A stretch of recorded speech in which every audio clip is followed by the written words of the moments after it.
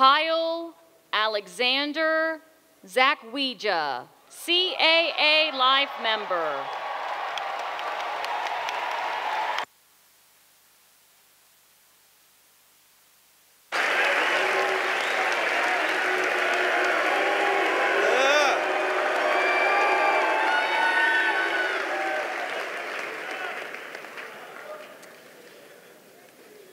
Pat Conroy once wrote, I want you to understand why I hate this school with all my power and passion. then I want you to forgive me for loving the school with all my heart. This quote describes how many cadets feel about the school while they are here and how they definitely feel once they're gone. The Citadel holds us to a higher standard, a standard that can be exhausting, but we're glad for it, and in the end, we're better because of it. These higher standards lead to the development of unique traditions.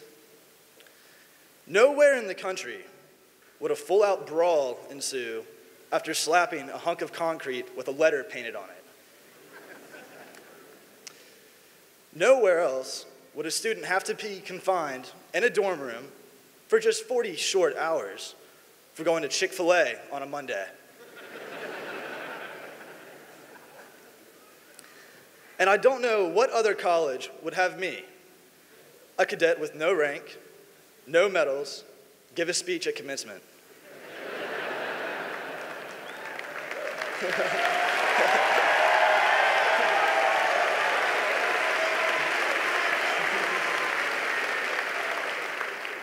These unique traditions often turn into great stories, and they almost always lead to consequences. Though I often questioned the purpose and legitimacy behind my time on the quad, it did teach me something. It taught me lessons I'd rather learn in the shelter of our beloved institution than in the real world where they'd be much, much more costly. These consequences began knob year. The whole point of this year is to blend in and stay under the radar. But I was like that little red dot boop, boop, boop.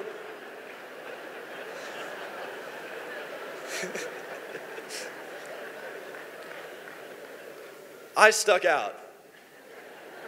And most of the time, not in a good way. In fact, I was so bad at drill, my cadre removed me from the pack and put me in my own squad. a squad of one. Seriously. In truth, the separation from my classmates and all the extra attention I was getting made me think about quitting. Then one afternoon, my classmates came to help me. They taught me how to polish my shoes, shine my brass, and make my webbing. They really did save me. I can say with great certainty that I would not be here today without the rest of ECHO 2018.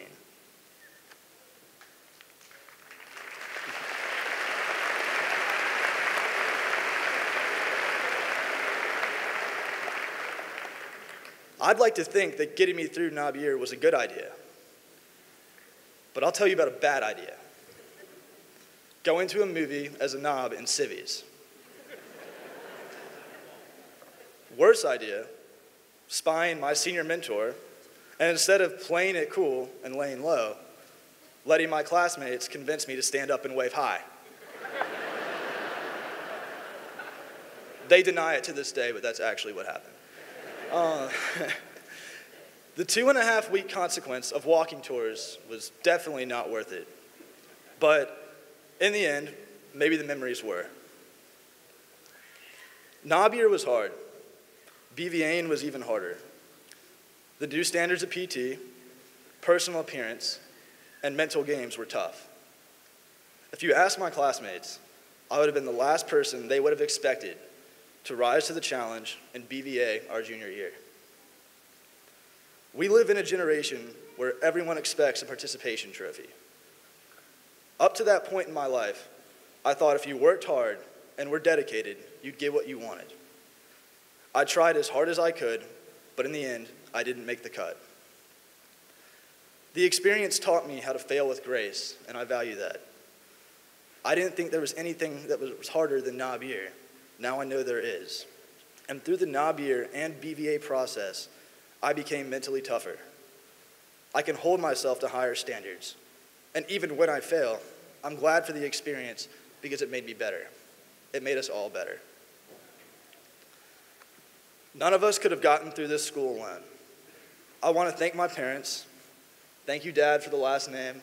Last but not least, is finally, finally paid off. and I'd like to thank my mother for driving thousands of miles on her many trips from Richmond to see me. But mostly for never posting anything on the Citadel Moms Facebook page.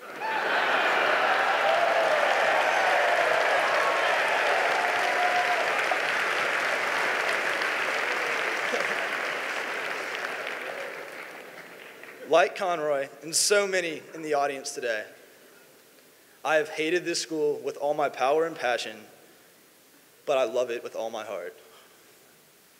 Long live the guards, long live Echo Company, and God bless the class of 2018. Thank you. Rest.